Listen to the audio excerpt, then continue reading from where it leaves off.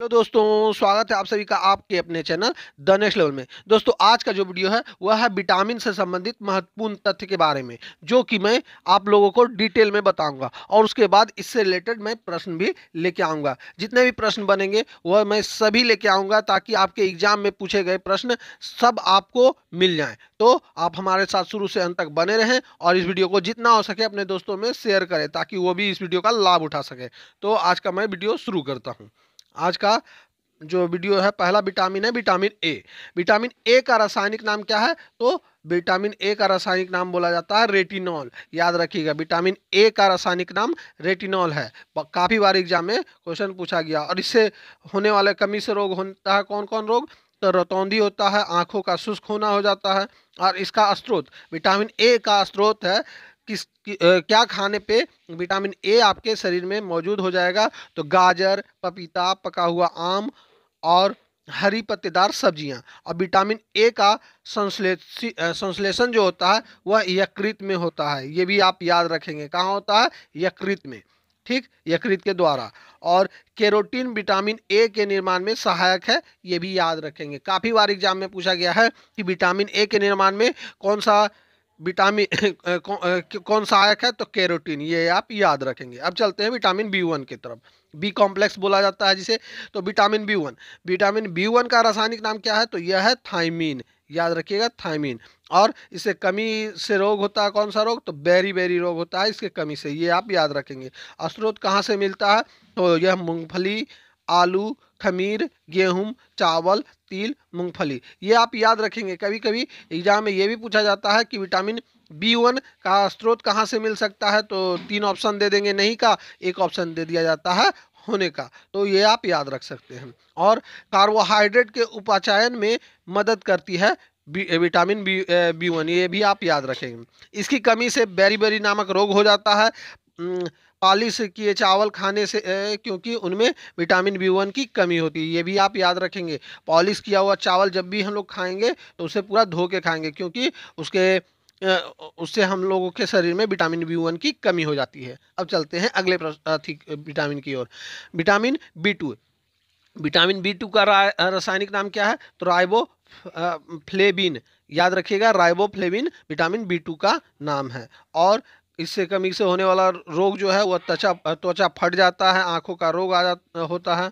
इसका स्रोत जो है, अंडा है, दूध है, हरी सब्ज़ियाँ हैं। अब चलते हैं विटामिन बी थ्री की ओर। विटामिन बी थ्री का रासायनिक नाम क्या है? तो इसका रासायनिक नाम है पेंटोथेनिक अम्ल। ये आप याद रखेंगे, पेंटोथेनिक अम्ल विटामिन बी थ्री का रासायनिक नाम है। और कमी से होने वाला रोग जो है, पैरों में जलन, बाल सफ़ेद होना। देखते हैं बच्चों के जो बाल सफ़ेद हो जाते हैं तो ये विटामिन बी थ्री का ही कारण होता है, ये आप याद रखेंगे। ठीक? और इसके स्रोत कहाँ हैं? तो कहाँ से प्राप्त होते हैं? तो मांस, दूध, टमाटर, अंग मूंगफली से। अब चलते हैं विटामिन बी फाइव की ओर। विटामिन बी फाइव बहुत ही इंपॉर्टेंट है, क्योंकि यह निको निकोटीनेमाइड यानी नियासिन, इससे बीमारी उत्पन्न होती है। इसकी कमी से नियासिन बीमारी उत्पन्न होती है। काफ़ी बार एग्ज़ाम में क्वेश्चन पूछा जाता है, जिसे निकोटीनेमाइड भी कहा जाता है। और कमी से होने वाला रोग जो है, मानसिक विकार यानी पेलाग्रा रोग हो जाता है, नामक रोग, जिसमें जीव लाल हो जाती है और उस पर छोटे छोटे दाने निकल आते हैं। ठीक? और स्रोत कहाँ से है? इसे विटामिन बी फाइव कहाँ से प्राप्त किया जा सकता है? तो मांस, मूंगफली और आलू खाकर। अब देखते हैं विटामिन बी सिक्स। तो इसका रासायनिक नाम क्या है? Pyridoxine vitamin B B six का रासायनिक नाम है पायरोडॉक्सिन, याद रखेंगे आप। और कमी से कौन सा रोग होता है? तो कमी से होता है एनीमिया रोग और त्वचा रोग। कौन सा? एनीमिया रोग और त्वचा रोग। स्त्रोत स्त्रोत कहाँ से प्राप्त कर सकते हैं? तो दूध खाकर, मांस खाकर, सब्ज़ी खाकर ये हम प्राप्त कर सकते हैं। अब चलते हैं अगले विटामिन की ओर। अगला विटामिन है विटामिन बी सेवन या एच। विटामिन बी सेवन को ही एच विटामिन भी कहा जाता है, ये आप याद रखेंगे। इसका रासायनिक नाम क्या है? तो रासायनिक नाम है बायोटीन रासायनिक नाम जितने भी विटामिन के हैं, वो सभी का आप याद रखेंगे, क्योंकि विटामिन का रासायनिक नाम क्वेश्चन पूछाया जाता है, इसलिए आप विटामिन के सभी रासायनिक नाम को याद रखेंगे, ताकि आप एग्ज़ाम देने जाएँ तो कभी यह मिस ना करें। और कमी से कौन सा रोग होता है? तो बालों का गिरना हो जाता है और चर्म रोग हो जाता है। देखते हैं अक्सर लोगों में गंजापन की बीमारी आ जाती है। तो विटामिन बी सेवन की कमी से या विटामिन एच की कमी के कारण ही उन्हें गंजापन हो जाता है। या, यानी वो अपने शरीर में विटामिन सेवन या बी सेवन या एच विटामिन को पूरा कर लेंगे तो उनके बाल झड़ना कम हो जाएँगे। स्रोत कहाँ से है? तो ईस्ट, गेहूँ और अंडा खाकर ये दूर किया जा सकता है। अब चलते हैं विटामिन बी ट्वेल्व की ओर। विटामिन बी ट्वेल्व का रासायनिक नाम क्या है? तो विटामिन बी ट्वेल्व का रासायनिक नाम है साइनो कोबालामीन। याद रखेंगे cyanocobalamin vitamin B twelve का रासायनिक नाम है। और कमी से कौन सा रोग होता है? तो एनीमिया रोग होता है या पांडु रोग होता है। एनीमिया रोग या पांडु रोग। एग्ज़ाम में पांडु रोग पूछा गया है और एनीमिया रोग तो काफ़ी बार पूछा जाता है।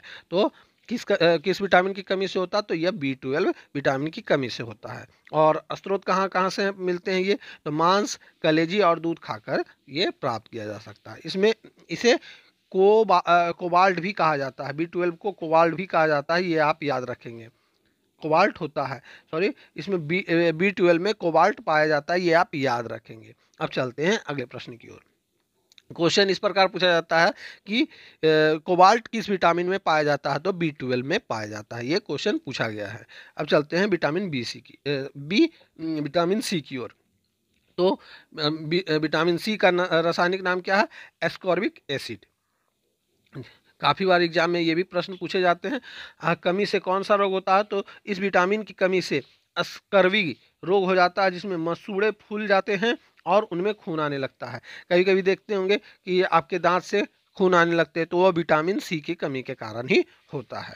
और स्त्रोत कहाँ से है? तो आंवला नींबू संतरा नारंगी कच्चा आम चिक्कू यानी खट्टे पदार्थों में विटामिन सी पाया जाता है ये आप याद रखेंगे। तो जितना भी खट्टा फल है आप खाकर विटामिन सी को अपनी कमी जिनके शरीर में विटामिन सी कमी है, वो दूर कर सकते हैं। अब चलते हैं अगले विटामिन की ओर। उससे पहले सब्ज़ी को धोने पर या खाना बनाने पर यह विटामिन नष्ट हो जाता है। वेरी वेरी इंपॉर्टेंट बात है, किस विटामिन को किस विटा, कौन सा विटामिन सब्ज़ी के धोने या खाना बनाने पर नष्ट हो जाता है तो वह विटामिन सी ही है। ये आप याद रखेंगे। इसलिए लोगों को बोला जाता है कि खाना जो सब्ज़ियाँ हैं काट काटे बगैर ही धो लें उसके बाद ना धोएँ। और यह विटामिन त्वचा बालों और मसूड़ों के स्वास्थ्य के लिए लाभदायक है। ये याद रखिएगा क्योंकि विटामिन सी के कारण ही त्वचा जो होता है साफ़ हो जाता है बालों का बा, बालों का गिरना बंद हो जाता है मसूड़ों से जो रक्त आते हैं वो भी बंद हो जाएँगे अगर जो आपके शरीर में विटामिन सी भरपूर मात्रा में है। अब देखते हैं विटामिन डी। तो विटामिन डी का रासायनिक नाम क्या है? कैल्सीफेरोल क्या है? कैल्सीफेरोल ये आप याद रखेंगे। विटामिन डी का रासायनिक नाम है। और कमी से कौन सा रोग होता है? तो इसकी कमी से होता है। इस कमी से बच्चों में रिकेट्स, यानी सूखा रोग, तथा बड़ों में ऑस्टियो मालेशिया नामक रोग होता है। बच्चों में रिकेट्स हो जाता है और बड़ों में ऑस्टियो मालेशिया नामक रोग हो जाता है। ये काफ़ी बार एग्ज़ाम में क्वेश्चन पूछे गए हैं तो याद रखेंगे। विटामिन डी के कारण ही रिकेट्स रोग होता है बच्चों में। और बड़ों में कौन सा रोग हो जाता है? तो अस्टियो मलेशिया रोग। ठीक? और इससे कहाँ से प्राप्त किया जा सकता है? तो स्रोत है सूर्य प्रकाश और दूध और अंडा खाकर इसे प्राप्त किया जा सकता है। यह विटामिन कैल्शियम, फास्फोरस के उपयो, उपयोजन तथा हड्डियों और दांतों की मजबूती के लिए आवश्यक होती है। ये आप याद रखेंगे।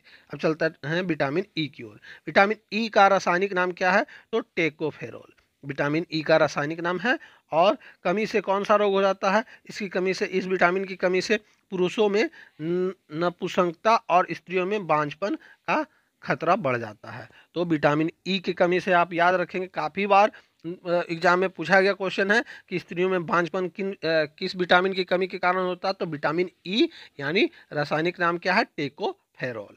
और पुरुषों में नपुंसकता रोग आ जाती है। और इससे रिलेटेड स्रोत कहाँ से मिलेगा? तो गेहूँ के अंकुर का तेल, दूध, टमाटर, घी, दूध, मक्खन, हरी पत्तेदार, सब्ज़ियाँ खाकर इसे दूर किया जा सकता है। और इसे फर्टिलिटी फर्टी फर्टिलिटी विटामिन भी कहा जाता है, ये आप याद रखेंगे। इसे कौन सा विटामिन कहा जाता है? फर्टिलिटी विटामिन भी कहा जाता है, क्योंकि यह विटामिन जन, जनन क्षमता को बढ़ाती है। ये आपने देखा ही, बांझपन इस विटामिन की कमी से बांझपन होता है तो यह विटामिन अगर जो शरीर में रहेगा तो वह उसकी जनन क्षमता जो दूर हो जाती है, मैंने बढ़ती है।